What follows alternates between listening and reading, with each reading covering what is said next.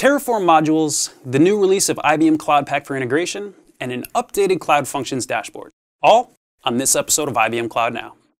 What's up, y'all? My name is Ian, and I am back to bring you the latest and greatest news and announcements from IBM Cloud.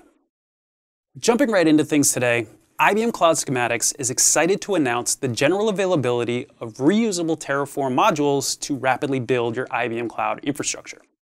What are Terraform modules, you ask? They're logical groupings of Terraform configuration files that are developed based on common infrastructure code patterns, best practices, and reference architectures. There are a bunch of great benefits to using these Terraform modules on IBM Cloud. They accelerate the development of Terraform infrastructure code, they lower the skill barrier required to develop the code, and by using these modules, you're adopting up-to-date industry best practices and code patterns that are codified by our automation subject matter experts. We already have a bunch of IBM Terraform modules published to the Terraform registry, and more are being added, so click the link in the description of this video to get started. Next up, I want to shine a light on the latest release of the IBM Cloud Pak for integration. The new features of this release mean that there are now five major ways that Cloud Pak for Integration's AI-powered automation improves your outcomes.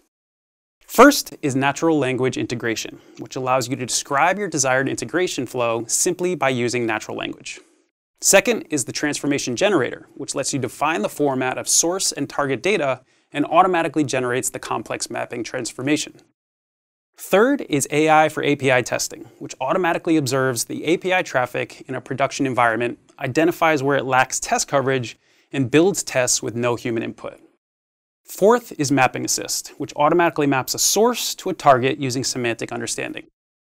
And fifth is Cloud Native High Availability for IBM MQ. This automatically replicates message data between a set of MQ instances deployed into the cloud. To learn more about the exciting new features of this release, hit the link below.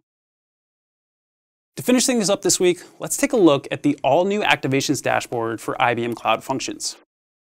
Among the many improvements to the UI and the UX, the new dashboard restructures the filtering options, sorts the data in every graph in a chronological and synced up order, improves warning and error messages, adds a better line break to display logs in the preview accordion, and adds a fully functional dark mode. To start experimenting with the all-new Activations dashboard for IBM Cloud Functions, check out the link I've got below. Thanks so much for joining me today for this episode of IBM Cloud Now. If you're interested in learning more about the topics I've covered, make sure you explore the links in the description of this video.